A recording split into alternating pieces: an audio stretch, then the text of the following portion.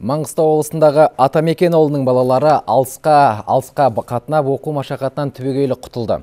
Ауылда 1200 орынға арналған заман талабына сай жаңа мектеп пайдалануға берілді.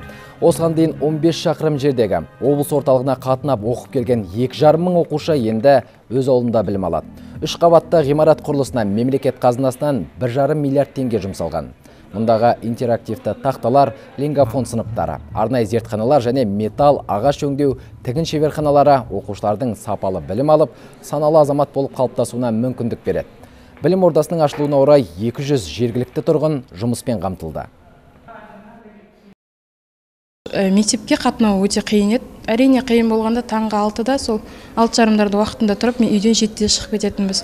Ал мына жақта өзіміздің ауданнан ашылған соң мына жақта барлық жағдай жасалған. Біздерге әрине қолайлы. Бұрын қаладағы нөмір оныншы орта мектепте жұмыс жасайтын едім. Қазіргі күнде біздің өзіміздің елді мекенімізден үйіміздің жанынан мектеп ашылғанына өте қуаныштымыз. Сол себепті мен осы енді осы мектепке жұмысқа орналасып жатырмын білім сапасын арттыруға жұмыс, жұмыстанамыз ұлттық бірыңғай тесттен жақсы шығамыз деген ниетіміз бар. Әрине біз қазір осы халықтың баласына сапалы білім беру үшін әрине жұмыстанамыз